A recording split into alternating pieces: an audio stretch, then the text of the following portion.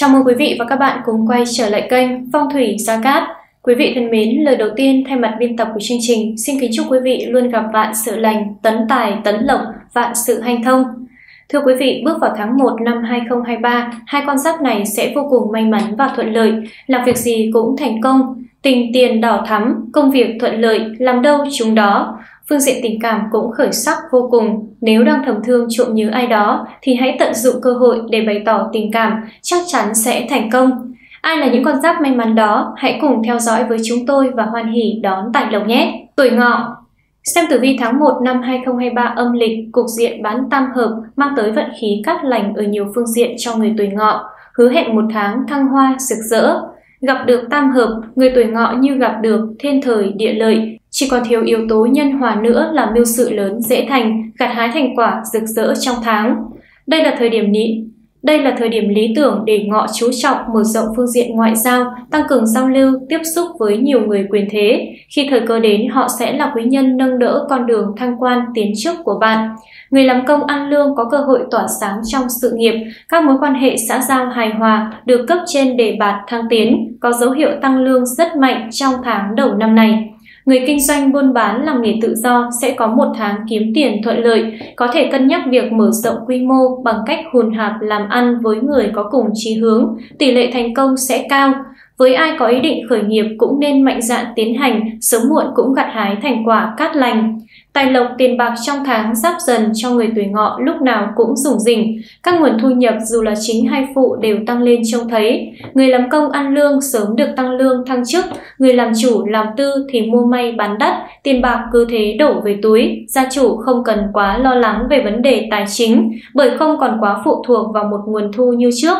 Bên cạnh đó, Ngọ biết đa dạng hóa các danh mục kinh doanh hay đầu tư vật chất khác nhau, nguồn tiền lưu chuyển nhịp nhàng, thu về hàng hóa ổn định, nâng cao chất lượng cuộc sống. Có điều tháng đầu năm, tuổi Ngọ có xu hướng thích hưởng thụ.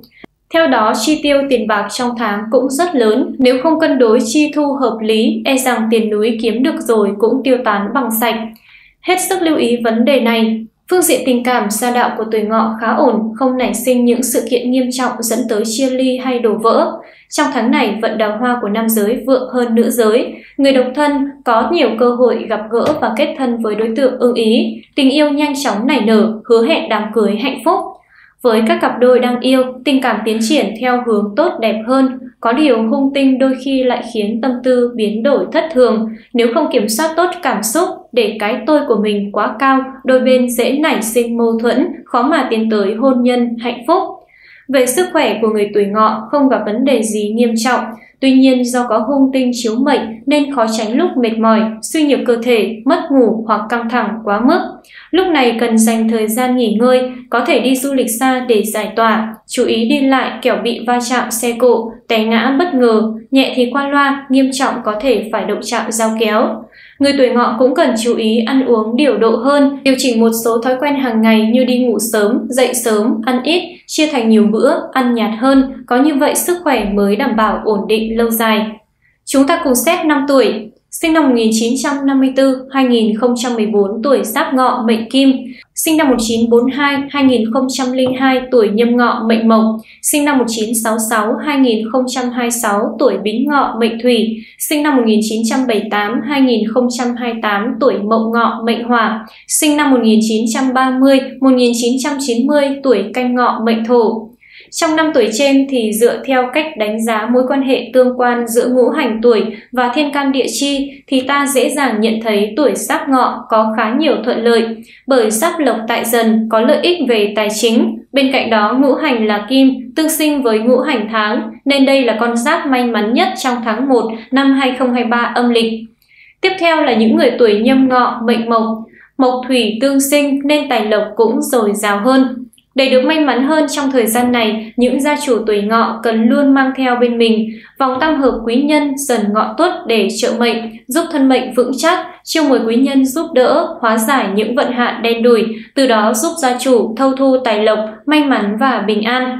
Tuổi tuất Bước sang tháng đầu năm Quý Mão 2023, sự nghiệp của người tuổi Tuất lên như diều gặp gió, hành thông rực rỡ, mưu sự lớn nhỏ cũng gặt hái thành quả tốt đẹp. Được công danh sự nghiệp của người tuổi Tuất thăng tiến không ngừng, liên tục có sự thay đổi, mở mang theo chiều hướng tốt. Dù là làm ăn xa hay ngoại giao đều gặp được quý nhân phù trợ, thu về thành quả đáng ngưỡng mộ. Người làm công ăn lương giữ vững tinh thần học hỏi và phấn đấu không ngừng, rất dễ khẳng định năng lực, được cấp trên đề bạt, không ít cơ hội thăng tiến ngay trong tầm tay nên chủ động nắm bắt. Với người làm kinh doanh, buôn bán hay tự thân làm chủ, công việc làm ăn thuận buồm xuôi gió, dù là phát triển trên nền tảng cũ hay mở rộng kinh doanh cũng đều thu lợi nhuận cao. Thời điểm này cũng khá thích hợp cho những ai có ý định khởi nghiệp, mạnh dạn khai phá những bước đi mạo hiểm, hứa hẹn nhiều trải nghiệm bất ngờ. Sang tháng mới, tài lộc tuổi tuất hanh thông hơn hẳn so với năm 2021. Dấu hiệu dễ thấy nhất là cảm giác kiếm tiền dễ dàng hơn, không còn quá trúc chắc, vất vả như trước. Mưu sự dễ thành, dù quá trình làm có thể gặp đôi chút trở ngại, nhưng kết quả cuối cùng vẫn thỏa nguyện, thu về lợi nhuận tốt. Cả chính tài và thứ tài đều khởi sắc, ngoài nguồn thu nhập chính từ công việc hiện tại, người tuổi tuất có thêm một vài nguồn thu khác như công việc làm thêm, việc đầu tư vào bất động sản, cổ phiếu, trái phiếu. Những kênh đầu tư này mang tới nguồn tiền thụ động ổn định, chất lượng cuộc sống vì thế cải thiện, chi tiêu dư giả hơn trước. Mức độ tiêu hao tiền bạc trong năm không quá nhiều, thu chi cân đối, đương số tiết kiệm thuận lợi, tích lũy được khoản kha khá, khá yên tâm trong một vài kế hoạch sắp tới. Tử vi tháng 1 năm 2023 âm lịch của tuổi Tuất cho thấy có nhiều niềm vui cho chuyện tình cảm, gia đạo yên ổn, ít chuyện phải cãi vã hay lo lắng, có xung đột xảy ra, đôi bên cũng nhanh chóng hòa giải, gia đình lại ấm. Gia đình lại trong ấm ngoài êm, người độc thân dù không có sao đào hoa chiếu mệnh, nhưng nhân duyên hài hòa mang tới nhiều cơ hội tiếp xúc, gặp gỡ người ưng ý, sớm chọn được người phù hợp để yên bề gia thất, các cặp đôi đang mong mỏi chờ đợi có tin vui về con cái sẽ được tọa nguyện trong tháng đầu năm Quý Mão. Về sức khỏe của bản mệnh không được như ý khi thời gian này bạn ăn uống không điều độ, cứ đói là ăn rất nhiều, sau đó vì bận rộn mà bỏ bữa. Nhất là những ai bị huyết áp thấp, lúc này sẽ bị mệt mỏi, chán nản. Với những ai đã từng cố gắng xây dựng kế hoạch tập luyện trước đây thì thời gian này cũng bị lơ là và không tập điều độ. Đó là lý do khiến bạn bị tăng cân rất nhanh trong thời điểm ra Tết này. Ngoài ra, con giáp tuổi tuất cũng nên hạn chế uống rượu bia, chúng không chỉ ảnh hưởng tới sức khỏe, thể chất mà còn tác động đến cả tinh thần của bạn. Đừng vì cả nể mà uống nhiều trong khi sức khỏe không cho phép. Chúng ta cùng xét năm tuổi, sinh năm 1958-2018 tuổi Mậu Tuất mệnh Mộc, sinh năm 1970 tuổi Canh Tuất mệnh Kim, sinh năm 1982 tuổi Nhâm Tuất mệnh Thủy, sinh năm 1994 tuổi Giáp Tuất mệnh Hỏa, sinh năm 1946 2006 tuổi Bình Tuất mệnh Thổ. Trong năm tuổi trên thì dựa theo đánh giá mối quan hệ tương quan giữa ngũ hành tuổi và thiên can địa chi, ta sẽ dễ dàng nhận thấy tuổi Giáp Tuất có khá nhiều điều thuận lợi bởi giáp lộc tại dần có lợi ích về tài chính. Tiếp theo là những người tuổi mậu tuất, mệnh mộc, thủy mộc tương sinh nên sẽ may mắn hơn các tuổi khác.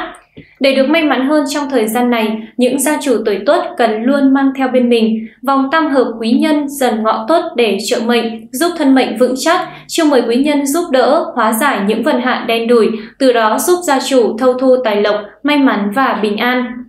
Thưa quý vị, như vậy chúng ta đã vừa tìm ra hai con giáp may mắn nhất trong tháng 1 năm 2023 âm lịch. Quý vị có thuộc một trong những con giáp may mắn ở trên hay không? Hãy comment xuống bên dưới ô bình luận để mọi người cùng được biết và chúc mừng bạn nhé! Cảm ơn quý vị đã quan tâm theo dõi. Mọi thắc mắc hay đóng góp của các bạn hãy comment bên dưới ô bình luận hoặc gọi điện trực tiếp đến số 0989 349119 để được tư vấn trực tiếp. Quý vị đừng quên đăng ký kênh và nhấn vào chuông thông báo để ủng hộ cho chương trình. Còn bây giờ, xin chào và hẹn gặp lại quý vị trong những video tiếp theo. Xin cảm ơn.